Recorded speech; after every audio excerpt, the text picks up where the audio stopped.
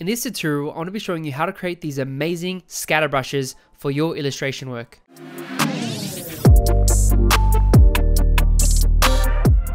So I've created these brushes recently. I made some stippling brushes in my other tutorial, but I also made some little sponge scatter brushes we can play around with. And obviously this is experimental, but you can create some really interesting effects. So first up, I've dragged the image into Photoshop. I'm going to just cut these down. So you can crop by pressing C, and then I'm just dragging these sides there to get just these ones that I want to focus on. So what I can actually do, I want to bump up the level. So I'm going to press so what I want to do is actually make these black and white. So I'll go to image mode and make it grayscale up the top left as you can see. And this will make everything black and white. I'm also going to bump up the levels a little bit so you can see I can increase the blacks and I can grab the highlights and bring them down, which is really cool. And this is just going to help us when we vectorize it to help us scan it in. So I'm just going to, you know, bring this up. The midtones I can play around with, but typically we want to make sure that there's no gray or anything.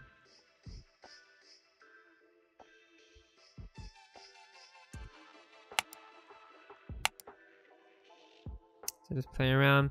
And then once you're happy, just press OK. And then what I'm to do, I'm to go to image mode and turn it into a bitmap. So you go to the top left, click bitmap, which is totally cool. And this should get rid of all the gray and just make it all black, which is great. So what I can actually do from this is I can actually save for web and just save it as a JPEG would be fine. I'm going to just, you know, save it at 50%. I'm just to save it to the desktop really quickly. And I'm to drag and drop that into my Illustrator file. And you can see here, I've got this cool little pumpkin here. And we might, we're going to play around with these textures and see what we can do with it. So first up, what you want to do is you want to select the textures and you want to go to the top left and click image trace. This will start to process the brushes and make them into vector shapes, which is really cool. I'm just gonna move some of these things out the way. So you can see already we've started to get some shape, but obviously it needs some tweaking. So go to the left, top left and click the little white box. I'm gonna drag this box over here, click on advanced, and we wanna play with the threshold bar. This will sort of increase how many, how much detail or shapes there are. And if I bring that up, you can see there'll be more detail as you can see there. So play around with that and see what works well. I'm also going to play with the paths and increase the paths a little bit, around 80%. And the corners, if you want to have a round, more rounded textures, then bring the corners to make it less. So you can see it's more round. If I bring the corners up, you'll see it will be more sharper and square, as you can see.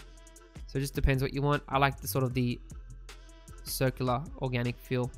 And then with the noise, if I bring the noise up, it's going to increase the overall, you know, um, it will make less detail and make it more simple. But if I bring the noise down, it should make more detail as you can see there. So I'll bring it to one pixel. And keep in mind, if your computer is not that good, it might lag a little bit. So just keep in mind when creating these textures. So some of the textures look really cool. I might bring the threshold down to see what it does to some of this detail which is really awesome. And I think that will do. And obviously, if it doesn't look good, then that's fine. We can always remake them.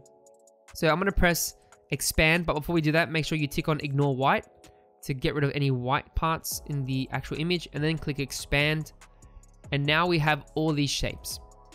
I'm to select the group and press Control Shift G to ungroup. You can go to object and actually ungroup from this as well. As you can see.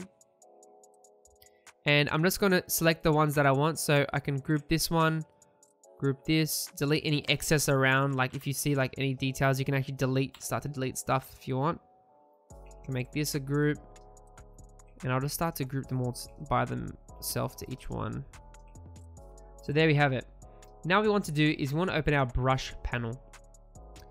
I want to quickly delete all these brushes here by going to select all unused and clicking the, the recycling bin.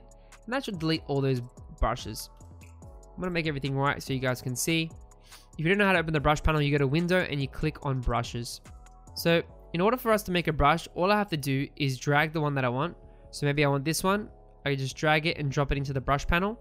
And we want to make a scatter brush. I can name these scatter brushes so I can call it brush one. Maybe call it thick. And typically I like to have the colorization on hue shift so I can change the color of the actual brush. And you've got sizing, spacing, and scatter. So you can always play around with this. Typically, um, I play around with spacing and scatter and that keeps it cool.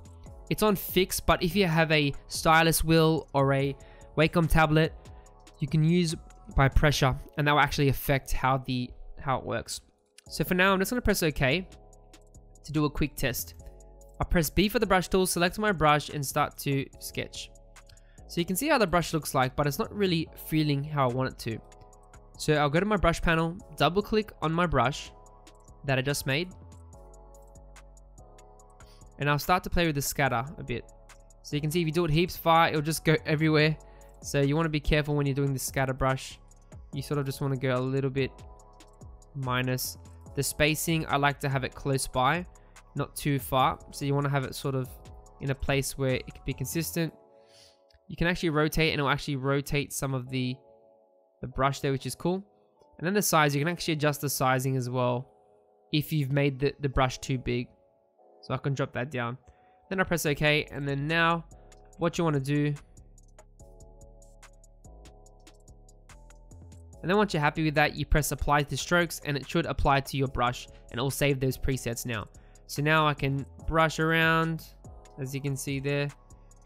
Now my brush is looking really cool. I can also use the brush for shapes. You know, if I have a star, I can make that over here and use that as well. So that one is a one way to create that. If you have, you can see I just added the stroke by accident. Let's try and make another one. So maybe this one over here. This one looks a little bit different. Scatter brush. Same thing. Drop the spacing. Scatter a little bit. And that's fine. Change the color to hue shift. And then now, see what that looks like. So I need to make the spacing a little bit more tighter. Make sure your preview button is on so you can check that. So that's looking kind of cool. Click apply. And now we have this brush. Just delete the paths that you create because this creates a path. And I think that is working really well. Beautiful. So let's start to apply that brush that we just made onto the pumpkin. So what I like to do is I just like to ungroup everything and I like to use these individual shapes. So I've got this shape on the side and then what I can do is get grab my brush tool, press B and using my mouse I can sketch like that. I can sketch like that. And now I've made that, you can see the spacing is a bit off, so I might have to adjust that. The spacing is too much. And I'm just going to change the color so I can see what I'm doing. And I can see that the scatter is just too much, so I'm just going to go 0%. That's beautiful. And I'm going to drop the stroke size. So you can drop the stroke to like 0.5 or even 0.25 is cool as well. Right? And then what I'm going to do is make a clipping mask. So I've got this shape here, as you can see. Bring it to the front by going object, arrange, bring to front. I'm obviously using the shortcut keys, which is fine.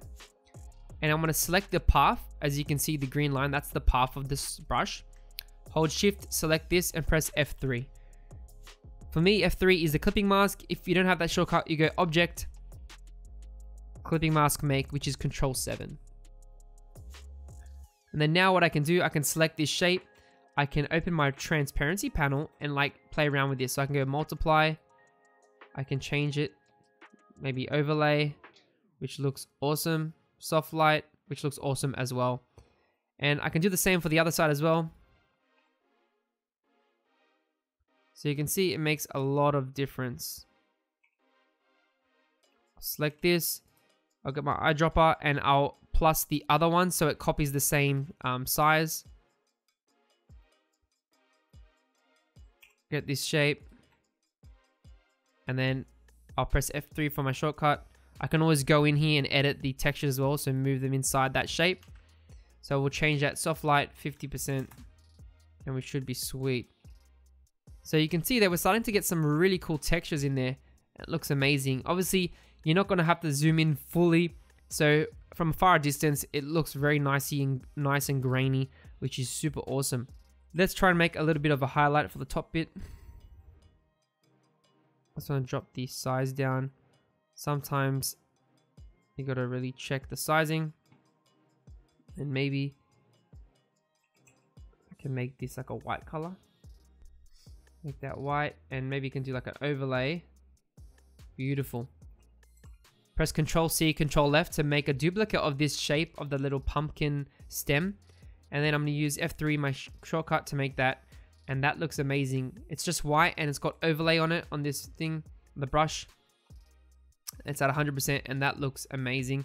Let's try and make a little bit more. And let's we can probably make a different brush if we want. But I'm gonna do like a big one. I like I wanna make this a big size. Let's try the other one like this.